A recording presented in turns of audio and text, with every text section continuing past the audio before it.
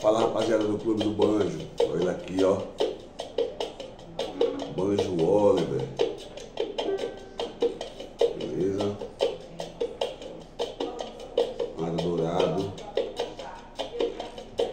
Cordal dourado.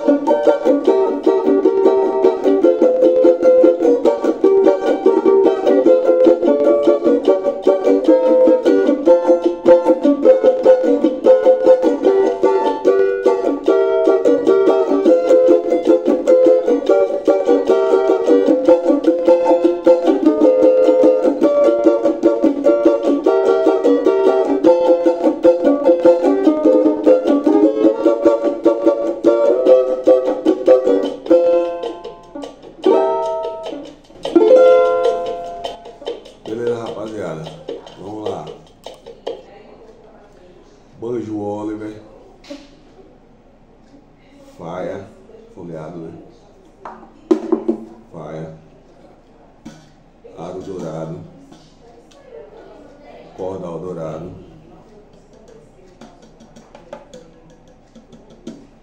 Beleza?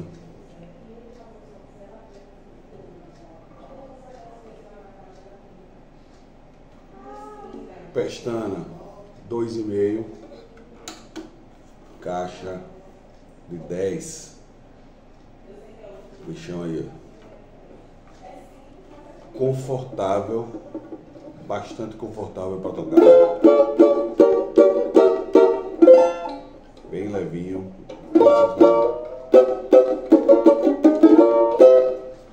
Bem levinho.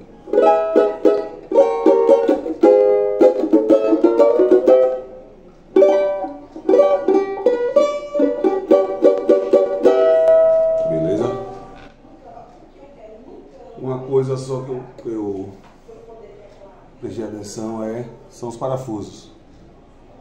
Os parafusos são simples. É aquela chave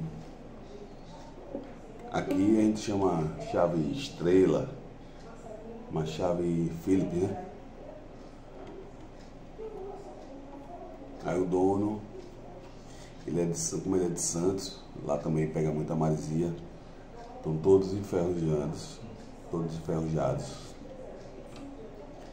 Mas isso aqui é coisa pouca, só trocar. Eu particularmente gostei do som.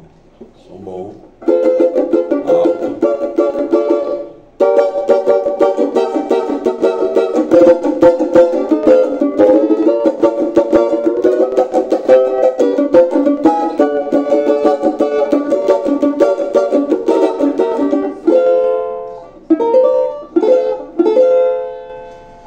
Certo? Uma particularidade. Esse aqui é mais extenso. Não sei qual, qual a marca desse, desse cordão aqui. Ele é mais extenso. Aí ele fica um pouco topando no ar. Vou dar um jeito aqui dele não topar para não ficar com essa vibração. A vibração é só quando você toca. Tocando ela não sai.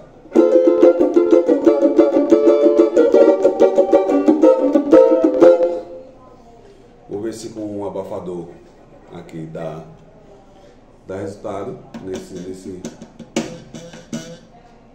nessa, nesse tocar, senão ver se coloco aqui um, um calçozinho de borracha quase imperceptível para ele tirar esse sonzinho. No mais, eu ainda vou testar ele elétrico Vou testar a captação dele. Pra ver. Mas muito confortável. É importante na hora do, da escolha do instrumento. Muito confortável. Pelo menos essa questão aqui da mão, do braço. Só achei um pouco aqui na parte do, do, do corpo. Se a pessoa for tocar em pé, aí o bicho pega. Mas ele não é pesado. Eu comparei com outros meus banjos aí. Tá quase que no mesmo, mesmo peso.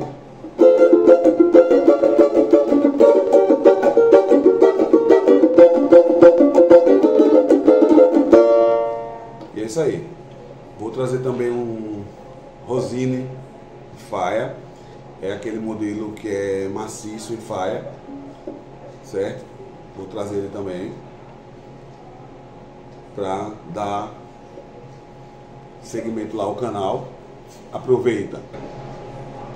Segue a gente lá no Instagram, Aju Clube do Banjo. Compartilha pra rapaziada. É, se inscreve lá no canal do YouTube, Clube do Banjo. Sempre terá novidades, sempre terá banjo. Então, próximo vídeo vai vir um Rosine e Fire. Também para dar continuidade ao nosso projeto. Valeu, rapaziada.